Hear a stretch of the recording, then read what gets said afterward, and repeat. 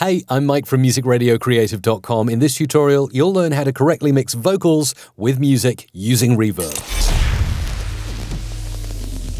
Okay, here we are in Adobe Audition, and I've got just a, a bit of flanger on the voice. 96.1 FM. And then we bring in the music, and it sounds like this. 96.1 FM. So a nice standard beat, but no reverb yet. So I'm going to show you how to set up reverb to sound really good, but not overpower the mix, particularly if you're doing imaging.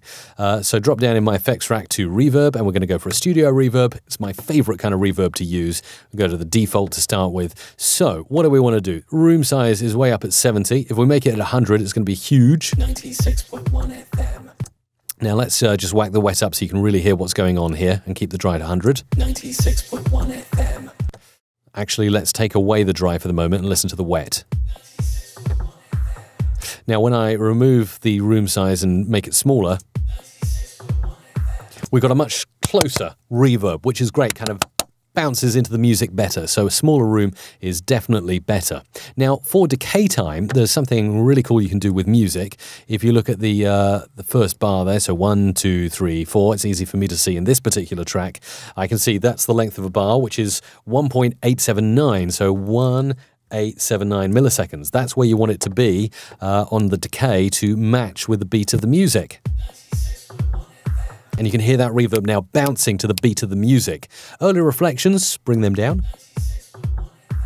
And you hear it so subtle in the background. Uh, the width, that's your stereo width. So we can make that larger if we want that kind of imaging, big city sound, why not? Uh, high frequencies, we can lop them off a bit. Again, it makes the reverb a little subtler and it's not so overpowering on the ear. Uh, you can mess around with a low frequency cut, but I'm, I'm happy with what I've got there. Uh, damping and diffusion, I'm going to leave at 50%. Now whack in the dry. 96.1 FM. There we go. And you can hear that reverb in the background. 96.1 FM. Not necessarily overpowering the full mix. Bring it down a little bit more if we like. 96.1 FM. Just so it's a very subtle reverb mix. And that is the way to correctly mix vocals with music using reverb without overpowering your original audio track.